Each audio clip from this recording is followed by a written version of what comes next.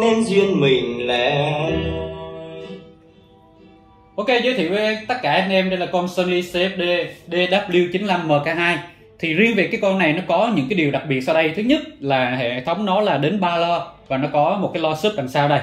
Thì hồi nãy em có sử dụng một đèn pin mà em em sẽ mở ra rồi em chụp lại cho tất cả các bác coi. Em này có thể có cổng kết nối là AUX, line in và line out và đặc biệt là ở hai học băng này của nó là đều có cái phần auto revert hết toàn bộ mọi thứ. Rồi ngay phía trên đây nó có một cái sự kết hợp rất là độc đáo là với phần mà radio á, nó có những cái màn hình khi mà chúng ta lăn nè. Đấy thiết kế rất là hay. Và điều đặc biệt thứ hai nó là cái phần volume của nó đây. Đây đó, nhìn nó rất hay, nó có một cái đèn. Ok, thì bây giờ chúng ta sẽ nghe hết cái bài hát của cái con CFD này. Về cái phần chi tiết em sẽ nói sau giờ xa cách nhau anh hiểu vì đâu anh anh đừng giận em đừng trách chi nhau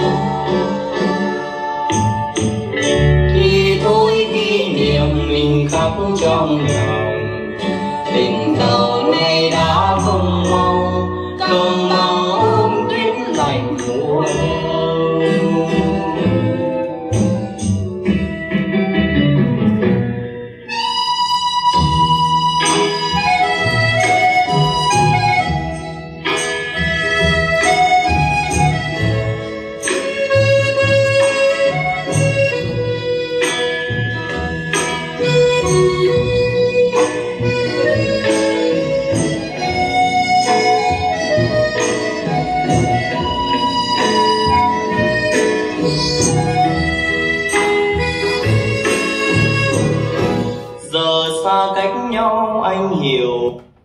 Ok bây giờ em sẽ test cái phần à, uh, băng cassette cho tất cả anh em nghe ha.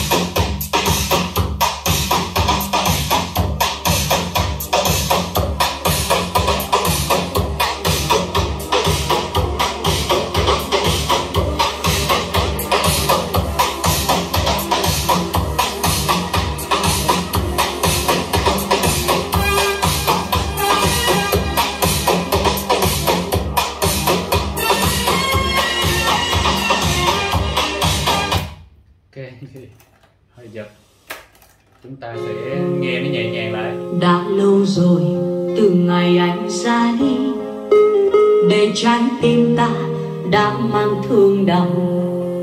Ta mới tìm về lại nơi chốn cũ, tìm chút dư âm của cuộc tình xưa.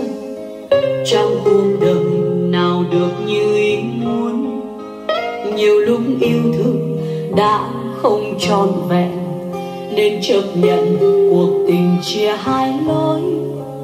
Còn níu kéo cũng chẳng để làm chi. Ok, vừa rồi là một cái phần test chất âm của con Sony DW95MK2 tức là phiên bản thứ hai của cái con này. Thì âm thanh rất là hay và thậm chí nó có một phần bass sub hỗ trợ cho tiếng bass của chúng ta nó mềm hơn và nó sâu hơn rất cảm ơn tất cả các bác đã chú ý lắng nghe. Hẹn gặp lại tất cả các anh em ở những video clip tiếp theo. Hãy giữ gìn sức khỏe để chúng ta có thể qua cái mùa dịch đầy khó khăn này. Ok, còn bây giờ thì xin chào và hẹn gặp lại ạ.